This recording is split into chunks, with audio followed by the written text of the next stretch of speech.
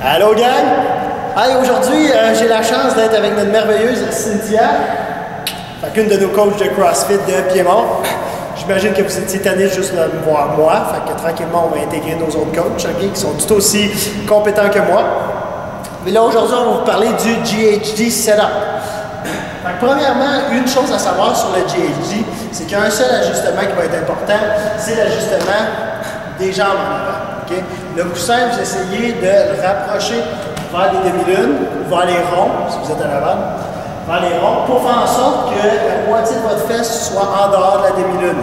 Si vous portez attention, puis vous zoomez sur votre, sur votre vidéo, ben, peut-être qu'on pourrait espérer de reculer encore un petit peu plus pour être légèrement plus dans le vide. Ben, Pour la cause aujourd'hui, c'est correct, ça va faire la job. OK, fait que juste vous montrer un GHD setup live comme ça. Montre-nous un GHD setup. Les points de vue d'amplitude. Quand vous allez descendre en bas, on essaie de toucher le sol. Dépendant de votre grandeur la hauteur du GHD, ça se peut, surtout les femmes, que vous ne touchiez pas le sol. C'est correct. Vous pouvez rajouter un objectif, peut-être un med bar, juste pour toucher quelque chose, pour dire OK, j'ai été chercher la bonne amplitude. On voit que les bras se sont étendus complètement en arrière. Et on a vu qu'il est venu essayer d'atteindre ici le coussin ou les orteils. Il faut toujours remonter complètement et venir chercher le coussin ou les orteils. Maintenant, portez attention, elle va descendre de façon contrôlée, comme elle l'a fait tantôt. Et regardez bien quand elle va kicker pour remonter. Ça va être vraiment quand même explosif. Ouais. Euh, quand vous allez remonter, on voit quand elle descend, descend, vous voyez la flexion. Elle s'étend un peu parce que là, elle n'est peut-être pas assez loin. Mais quand elle va remonter, le but, c'est d'essayer de faire un leg extension. Vous avez une légère flexion et vous vous servez aussi de vos quadriceps. C'est sûr que c'est un exercice qu'on va dire pour les abdos, OK?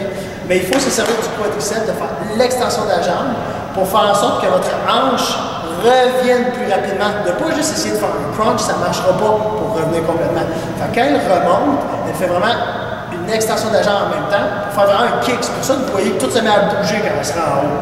On reste ça encore. Les seins touchent et là, hop, elle va pour la cause. On voit aussi que quand vous descendez avec les bras, vous avez le droit de vous en servir comme propulsion. Quand vous visez les bras vers ce que vous cherchez, en même temps que vous faites l'extension et la contraction. Une dernière fois. Dernière chose à savoir, certaines personnes vont manquer de mobilité, de flexibilité euh, dans le dos, le tronc. ok? Des fois, vous avez tendance à être très stiff. Vous allez descendre, et rendu juste à mi-chemin, comme ça, juste parallèle. Peut-être que là, vous allez commencer à avoir peur, à sentir que vous n'êtes pas capable, ou à sentir des douleurs.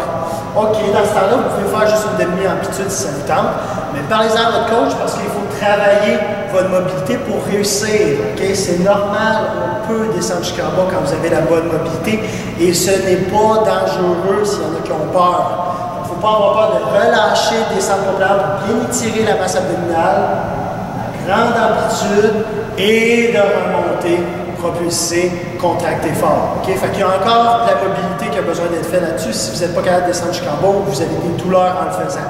Mais n'ayez pas peur d'essayer d'aller chercher l'amplitude que vous avez besoin, que vous pouvez aller chercher. Et parlez-en à votre coach si vous n'êtes pas capable d'aller jusqu'en bas ou vous avez des douleurs en le faisant. Là, pour le GHD, tu quelque chose peut-être euh, à rajouter?